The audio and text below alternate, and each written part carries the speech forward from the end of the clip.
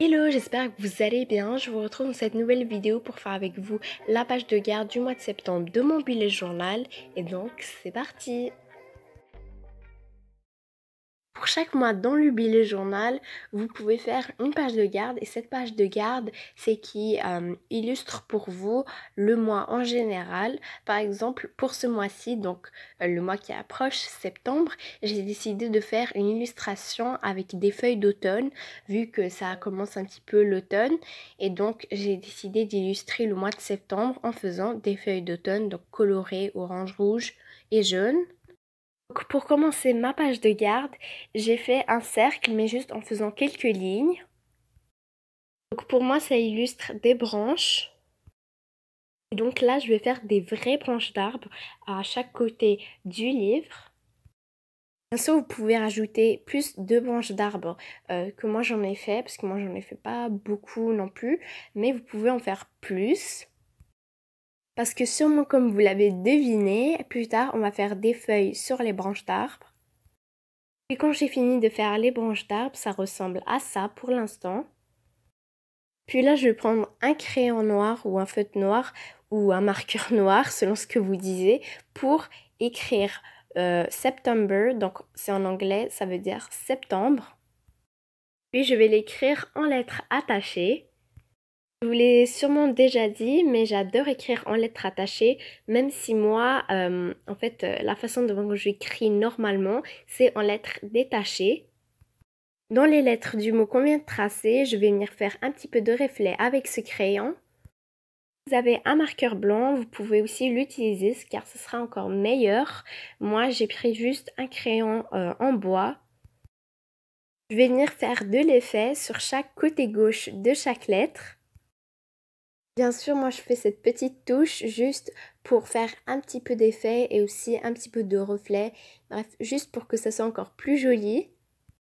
Et là, on passe à notre thème du mois et donc on va venir faire des feuilles d'automne. Donc des feuilles rouges, des feuilles oranges et des feuilles jaunes. Pour moi, l'automne, c'est quand même une saison que j'aime beaucoup comparée à l'hiver parce que l'automne, il y a des couleurs dans euh, les arbres. C'est juste trop beau, c'est un spectacle avec les feuilles qui tombent. C'est encore plus joli. Donc le rouge, le orange et le jaune, je trouve que ça se marie parfaitement et c'est juste trop beau. J'aime beaucoup cette saison. Dites-moi dans les commentaires si vous aussi vous aimez bien l'automne. Puis là, je suis en train de faire les feuilles. Vous pouvez aussi rajouter des feuilles vertes parce que c'est vrai que l'automne, il y a aussi des feuilles vertes dans les arbres.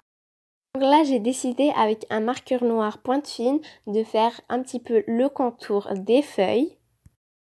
Puis là, quand je vais finir de faire le contour des feuilles, je vais venir faire la même chose avec toutes les branches qu'il y a sur ma page de garde. Donc euh, les branches euh, en fait qui sont courbées et les branches normales. Et puis, je vais vous mettre tout ça en accéléré. Et donc, c'est parti